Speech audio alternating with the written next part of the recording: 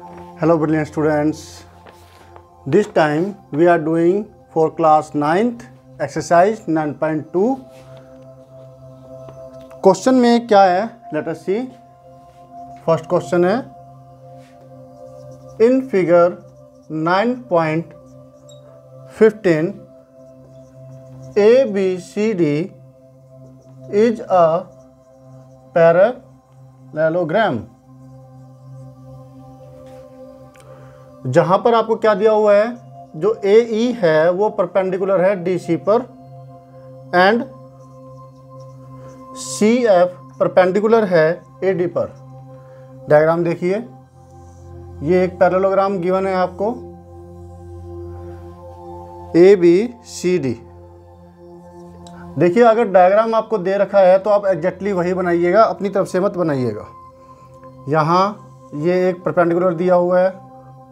ए E C D के ऊपर और परपेंडिकुलर दिया हुआ है सी एफ़ ये सी एफ़ परपेंडिकुलर दे रखा है ए डी के ऊपर ओके ये दो तीन चीज़ें दे रखी है पैरेललोग्राम और दो ये परपेंडिकुलर अलग अलग, जो पैरेललोग्राम की साइड है, उसके ऊपर।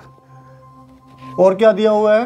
If A B equal to 16 centimetre A B ये 16 सेंटीमीटर है तो पैरेललोग्राम के अपोजिट साइड इक्वल होती है तो ये 16 है तो ये भी 16 सेंटीमीटर होगी right A E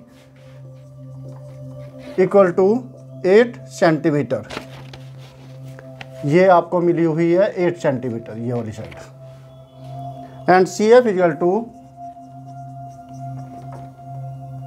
10 centimetre C F C F ये 10 सेंटीमीटर है, ये वाली side okay find A D हमें निकालना है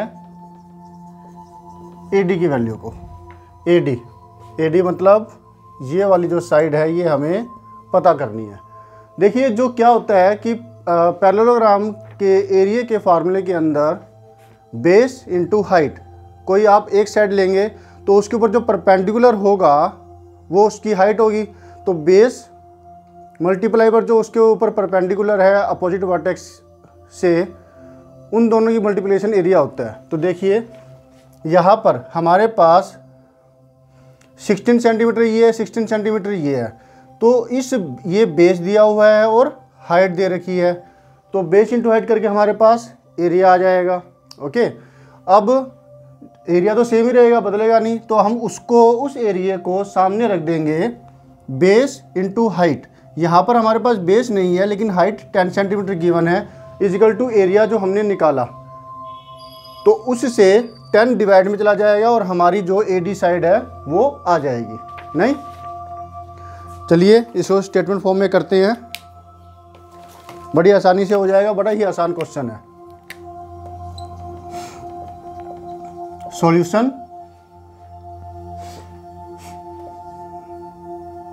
गिवन है आपको। ये सब चीज़ें लिख देते हैं कि A B equal to sixteen centimetre तो फिर जो ये सी डी है, ये ए बी के बराबर होगी। ये भी 16 सेंटीमीटर क्यों भला? Opposite sides of parallelogram A B C D are equal okay? अब हमें दे रखी है A E equal to eight centimetre area of या फिर इसको ऐसे लिख देते हैं A R A B C D equal to base into height base है A B C D base हुआ सी डी मल्टीप्लाई में हाइट। हाइट मतलब A E C D sixteen, height eight. Multiply नहीं करेंगे, ऐसे ही रहने देंगे उसको। अच्छा और हमें क्या दिया हुआ है? इसको हम ऐसे भी तो लिख सकते हैं ए बी सी डी को, कि ए डी मल्टीप्लाई में ए डी के ऊपर जो अपोजिट वर्टेक्स है उससे परपेंडिकुलर तो ये क्या है? सी एफ़ चाहे इससे परपेंडिकुलर दिया हुआ होता चाहे इससे परपेंडिकुलर है तो वो अपोजिट वर्टेक्स कोई भी हो उससे परपेंडिकुलर होना चाहिए।